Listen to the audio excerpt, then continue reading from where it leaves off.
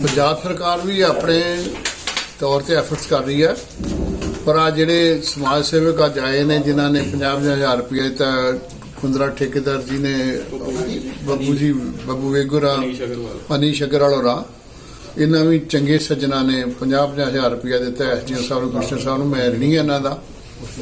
ਇਹੋ ਜਿਹੇ ਹੋਰ ਵੀ ਲੋਕ ਸਾਹਮਣੇ ਆਉਣਗੇ ਤੇ ਇਹਨਾਂ ਚੰਗੇ ਲੋਕਾਂ ਕੋਲ ਲੈ ਕੇ ਸਰਕਾਰ ਜਿਹੜਾ ਉਹ ਅਨਾਜ ਗਰੀਬਾਂ 'ਚ ਵੰਡੇਗੀ।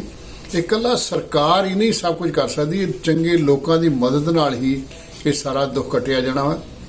ਤੇ ਮੈਂ ਅਪੀਲ ਕਰਾਂਗਾ ਹੋਰ ਵੀ ਜਿਹੜੇ ਲੋਕ, ਚੰਗੇ ਲੋਕ ਹੈਗੇ ਨੇ, ਉਹ ਅੱਗੇ ਆਉਣ ਤੇ ਐਸਡੀਐਮ ਸਾਹਿਬ ਨੂੰ ਜਾਂ ਡੀਸੀ ਸਾਹਿਬ ਨੂੰ ਜਾਂ ਚੀਫ ਮਿਨਿਸਟਰ ਸਾਹਿਬ ਦੇ ਰਿਲੀਫ ਫੰਡ 'ਚ ਪੈਸੇ ਜਮ੍ਹਾਂ ਕਰਾਉਣ, ਤਾਂ ਜੋ ਰਲ ਮਿਲ ਕੇ ਜਿਹੜੀ ਇਹ ਕਰੋਪੀ ਆ ਰਹੀ ਹੈ, ਜਿਹੜੀ ਮਹਾਮਾਰੀ ਆ ਰਹੀ ਹੈ, ਇਹ ਬਿਮਾਰੀ ਆ ਰਹੀ ਹੈ, ਉਹਨੂੰ ਕੱਟਣ ਵਾਸਤੇ ਸਾਡਾ ਸਾਥ ਦੇ ਟੋਟਲੀ ਜਿਹੜੇ ਬਾਹਰੋਂ ਬੰਦੇ ਆਏ ਨੇ ਉਹਨਾਂ ਦੀ ਥੋੜੀ ਜਿਹੀ ਗਲਤੀ ਹੋ ਗਈ ਉਹਨਾਂ ਨੂੰ ਪਤਾ ਨਹੀਂ ਸੀ ਵੀ ਅਸੀਂ ਬਿਮਾਰ ਆ। ਤੇ ਉਹ ਘਰ 'ਚ ਆ ਕੇ ਬੈਠੇ ਰਹੇ ਉਹਨਾਂ ਕਰਕੇ ਉਹਨਾਂ ਦੇ ਪਰਿਵਾਰ ਬਿਮਾਰ ਹੋਏ ਨੇ। ਸੋ ਇਹੋ ਹੀ ਅਪੀਲ ਹੈ ਸਭ ਨੂੰ ਵੀ ਬਚਨ ਸਾਰੇ। ਜੇ ਕੋਈ ਕੋਈ ਐਨਆਰਆਈ ਵੀਰ ਆਇਆ ਵਾ ਤੇ ਉਹਦਾ ਧਿਆਨ ਰੱਖੀਏ ਉਹਨੂੰ ਹਸਪਤਾਲ ਦਾਖਲ ਕਰਾਈਏ।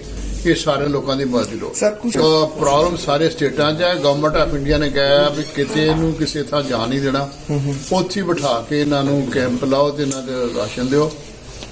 ਤੇ ਉਹ ਸਰਕਾਰ ਕਰ ਰਹੀ ਹੈ ਕਿਉਂਕਿ ਜੇ ਇੱਥੋਂ ਯੂਪੀ ਜਾਣਗੇ ਤਾਂ ਉਹ ਜਾ ਕੇ 15 ਦਿਨ ਉਹਨਾਂ ਨੂੰ ਡੱਕਣਗੇ।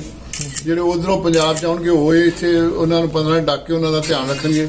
ਸੋ ਕਹਿੰਦੇ ਉਹਨਾਂ ਨੂੰ ਇੱਥੇ ਹੀ ਰੱਖੋ ਤੇ ਉਹਨਾਂ ਦੇ ਪੂਰਾ ਇਲਾਜ ਵੀ ਕੀਤਾ ਜਾਏ, ਉਹਨਾਂ ਦੀ ਸੇਵਾ ਵੀ ਕੀਤੀ ਜੇ ਰੋਟੀ ਪਾਣੀ ਵੀ ਦਿੱਤਾ ਜਾਏ। ਸੋ ਸਰਕਾਰ ਇਸ ਪਾਸੇ ਲੱਗੀ ਹੈ। ਇਹ ਸਟੇਟ ਗਵਰਨਮੈਂਟ ਨੇ ਹੁਣ ਪ੍ਰਾਈਮ ਮਿਨਿਸਟਰ ਸਾਹਿਬ ਨੇ ਜਿਹੜਾ ਟਾਈਮ ਰੱਖਿਆ, ਉਹ ਸਾਰੀਆਂ ਸਟੇਟਾਂ ਤੇ ਲਾਗੂ ਹੈ। ਹਜੇ ਤੱਕ ਤੇ ਉਹੀ ਚੱਲੇਗਾ। ਉਹਦੀ ਬਾਅਦ ਫਿਰ ਦੇਖਣਗੇ ਸਟੇਟਸ ਕੀ